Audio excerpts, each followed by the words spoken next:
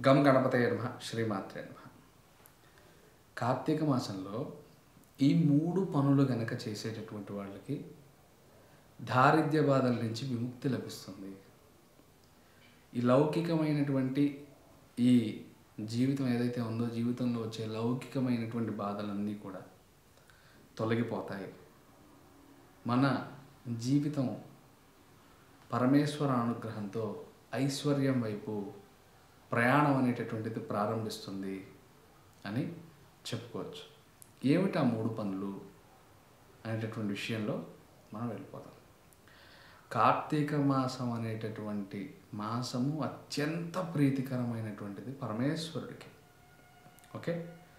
పరమేశ్వరుడికి ఇంకొక పేరు కూడా ఉంది భక్త సులభుడు అని పేరు. భక్తుడు ఏ చిన్న క్రియ తన కోసం చేసినా ఆ స్వామి యొక్క నామస్మరణ చేసిన సంతృప్తి చెందిపోయి అపారమైనటువంటి ఐశ్వర్యాన్ని ఇచ్చేస్తాడు స్వామి. మన వాళ్ళు ఏమనుకుంటామంటే ఇవాళ అభిషేకం చేసి రేపే నాకు డబ్బు చేయాలి అన్నీ వచ్చేయాలి అనేసుకుంటారు. ఎప్పుడూ కూడా సాధకుడికి ఉండాల్సినటువంటి గుణంలో ముఖ్యమైనటువంటి విషయం ఏదంటే ఓపిక సహనము. భగవంతుడి మీద అపారమైన భక్తి. పట్టు విడవనటువంటి అతని యొక్క బుద్ధి జ్ఞానం ఉండాలి. అంటే నా భగవంతుడు నాకు స్వామి నాకు అనుగ్రహిస్తాడు. ఇవన్నీ స్వామి పెట్టే పరీక్షలే అని కోరుకుంటూ ప్రతినిత్యం స్వామివారి యొక్క నామస్మరణ చేసుకుంటూ సాధన చేసేటటువంటి సాధకుడికి ఆ స్వామి అనుగ్రహం ఖచ్చితంగా లభిస్తుంది.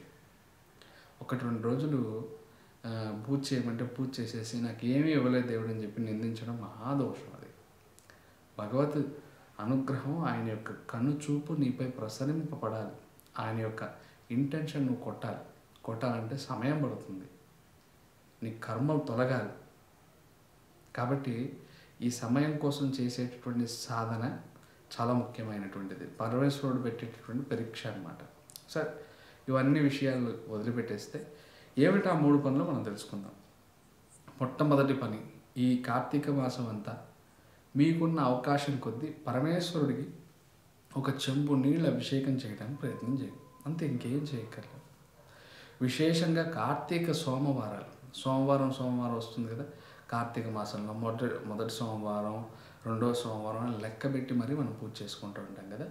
ప్రతి సోమవారానికి విశేషంగా పరమేశ్వర ఆరాధన చేయడానికి ప్రయత్నం చేయండి. ప్రతిరోజు ఓ చెంబుడు నీళ్ళు స్వామివారి శిరస్సు మీద పోయడం తప్పేం లేదు. ఎక్కడో శివాలయానికి వెళ్ళిపోయే చేయాలని లేదు. మీ ఇంట్లో చిన్న శివలింగం ఉండి నందీశ్వరుని పెట్టుకొని అభిషేకం చేసుకోవచ్చు తప్పలేదు. అలాగే ఇలా ప్రతి రోజు కూడా విడవకుండా స్వామివారికి ఓ చెంబుడు నీళ్ళు పోయటం వల్ల పరమేశ్వర అనుగ్రహాన్ని పొందుతాం. ఆ పోసే నీరు పోసేటప్పుడు కూడా చెప్పుకోవాలి. నమశివాయ చ నమశివాయ దారిద్ర్య దుఃఖ దహనాయ నమశివాయ అనేటటువంటి ఈ యొక్క నామాన్ని స్మరించండి. రెండవది ఏమిటి తెలుసా? కార్తీక మాసం అంతా కూడా మన ఇంటి బయట చక్కగా దీపాన్ని వెలిగించండి. మన ఇంటి బయట వెలుగుతూ ఉండాలి. ఆ దీపపు వెలుగులు ఎక్కడైతే ఉంటాయో ఒక అద్భుతమైనటువంటి కాస్మిక్ ఎనర్జీ అనేది రిలీజ్ అవుతుంది. చూడండి దీపావళి నుంచి మొదలు పెట్టుకొని కార్తీక మాసం అంతా దీపపు కాంతులతో ఎంతో మనోహరంగా కనిపిస్తుంది. నాకు కార్తీక మాసం అంటే చాలా ఇష్టం. ఎందుకంటే ఒక పాజిటివ్ ఎనర్జీ ఒక కాస్మిక్ ఎనర్జీ. గుడిలో ఉండేటటువంటి శక్తి మన ఇంటి ప్రతి చుట్టుపక్కల మన ఇంటి బయట దీపాలు పెడుతుంటే కనబడుతూ ఉంటుంది.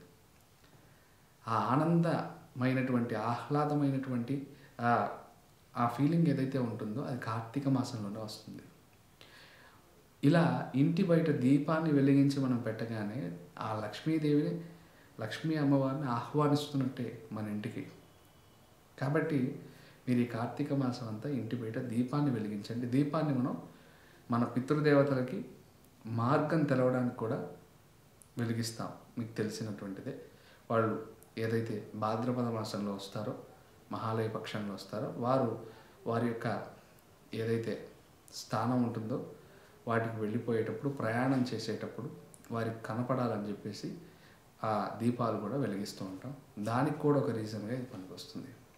మూడో విషయం ఏమిటంటే కార్తీక పురాణం కానీ శివ పురాణం కానీ ఏదైనా ఒక పురాణం పరమేశ్వరుడికి సంబంధించినటువంటిది కానీ మీరు తీసుకుని చదువుకోండి. ఈ కార్తీక మాసం అంతా. చాలు. మీకు శివానుగ్రహం లభిస్తుంది. శివ సాహిత్యం లభిస్తుంది.